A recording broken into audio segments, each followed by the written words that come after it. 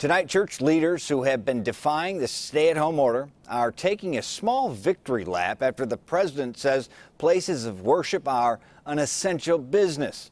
Our Jermont Terry is live at one church fined last week that plans to hold services again this week. Jermont.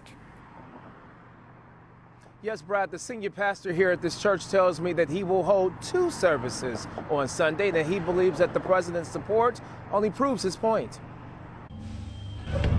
Tonight, the doors at Metro Praise International are locked, but expect them to swing open once again Sunday morning. The Belmont Cragin Church is one of three in Chicago to receive a $500 fine for violating social distancing by having services. As many people as we can safely social distance. But under the governor's orders, only 10 can still gather at one church. Close to 60 will worship here on Sunday at two services. I don't think the science backs up that we're putting them at any greater of a risk than them going to the other essential businesses. Pastor Joe Wyrostek's views gained momentum following President Trump's statements on Friday. Some governors have deemed liquor stores and abortion clinics as essential, but have left out churches and other houses of worship. It's not right.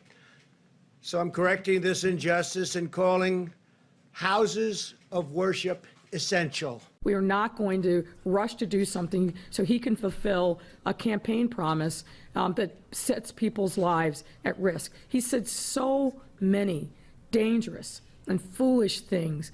Add this to the list.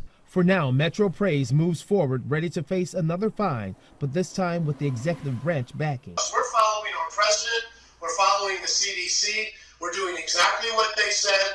If that's not good enough for the mayor and governor, they need to be ready for that fine.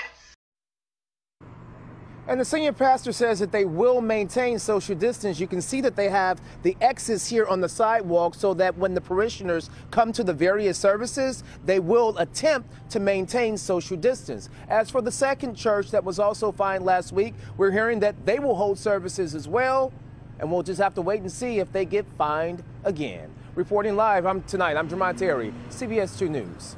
Jermont, thank you. We will wait and see.